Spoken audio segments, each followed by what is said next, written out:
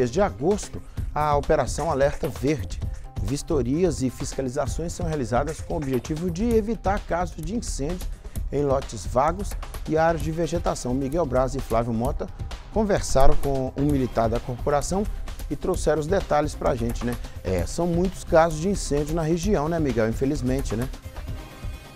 Nico, só para se ter uma ideia, só neste ano até agora foram registrados pelos militares do Corpo de Bombeiros 84 incêndios aqui na nossa região. A gente vai conversar com o cabo do Corpo de Bombeiros, o Wallace Gonçalves de Oliveira, que vai falar um pouco mais sobre a Operação Alerta Verde.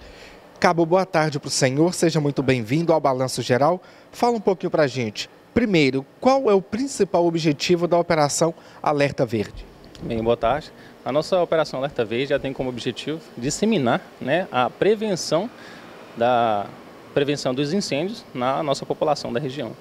O, a nossa operação ela consiste em realizar vistorias em lotes né, que já ocorreram, que tem recorrência em incêndios na região e juntamente com fiscais da prefeitura, da Secretaria Municipal de Obras, nós realizamos essa vistoria para verificar potenciais incêndios, beleza?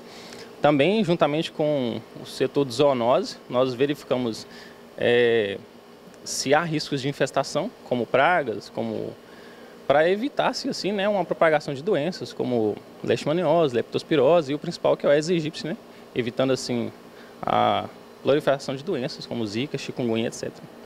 Como a gente conversou, como eu disse no início também, pelo menos por vocês foram registrados 84 incêndios, mas o número pode ser maior?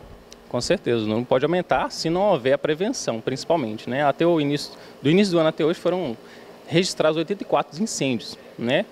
Na nossa região, apenas em Governador Valadares, fora os incêndios que não foram é, lanç, é, acionados via 193. Então, a, a média é de um incêndio a cada três dias. Só o ano passado foram registrados 53.800 incêndios em toda Minas Gerais, o que dá uma média de 16 incêndios por dia, o que é um problema para nós que deve ser resolvido.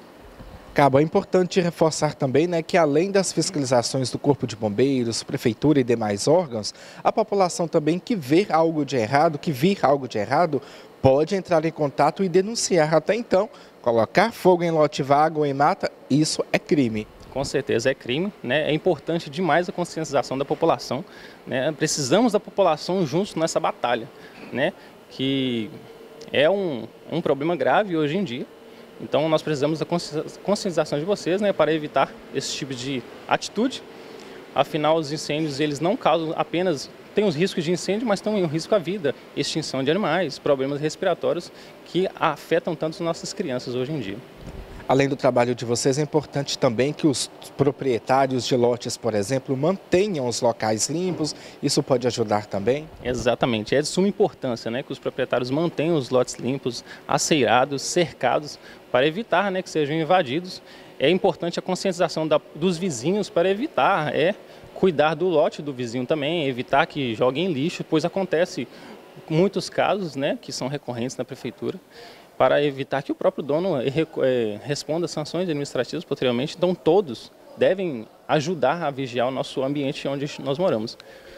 E assim, evitar também que crianças entrem no local, afinal, devido às pragas, escorpiões e vários insetos que possuem no local, colocam em risco a vida de nossas crianças e a nossa principalmente. Muito bem, Cabo. A gente agradece a sua participação conosco aqui pelo Balanço Geral.